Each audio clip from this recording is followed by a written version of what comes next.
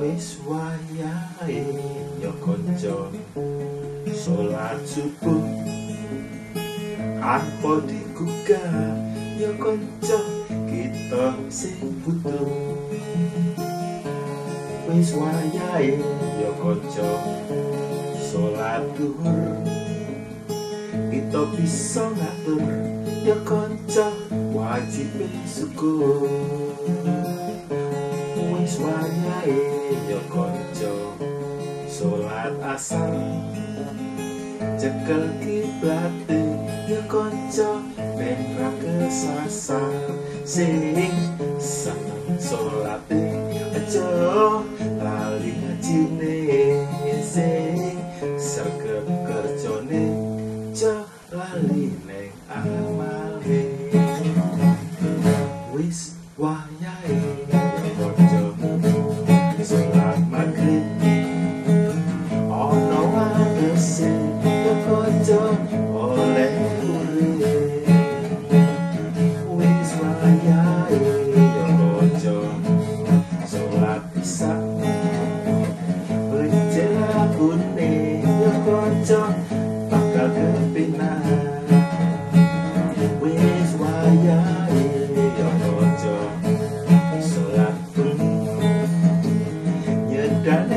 Gusti yo kanca sing duwe pesti sing semono ajine.